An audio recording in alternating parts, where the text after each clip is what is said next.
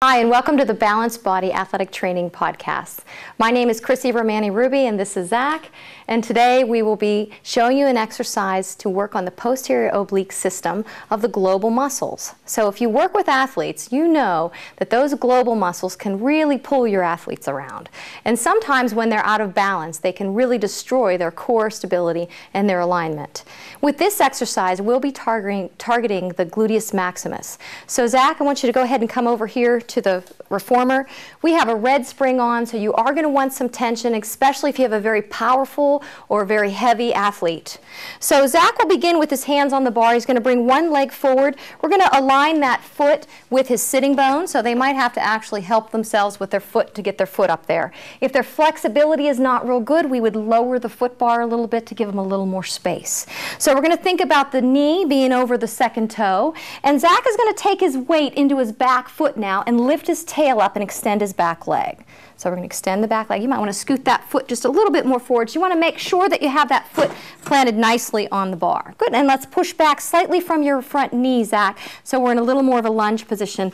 And encourage the athlete to put weight through this back leg and try to straighten it if they can. That's going to take some flexibility.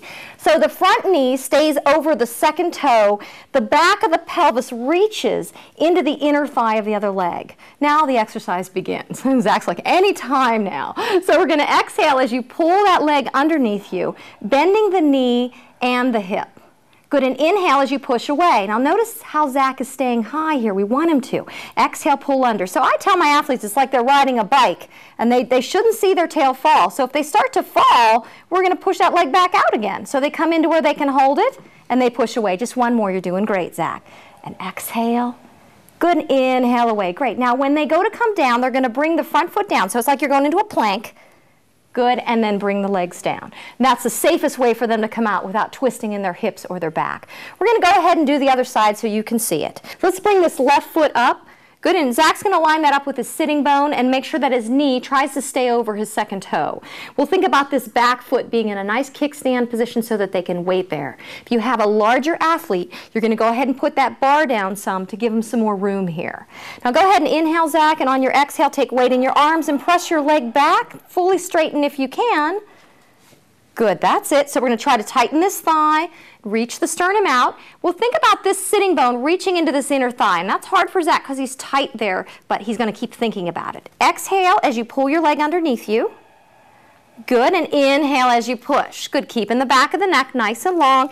Exhale as you pull under, looks great. And inhale away. Now as they get more comfortable with the exercise, keep going, Zach, that's it you can make it more powerful and more reciprocal. So, but when they're learning, you keep it slow and controlled. Great job. Okay, now to come down, Zach, you're going to waper through your arms, bring your front leg down, and bring your knees down to the carriage. Thank you for joining us today, and I hope to see you for the next Balanced Body podcast.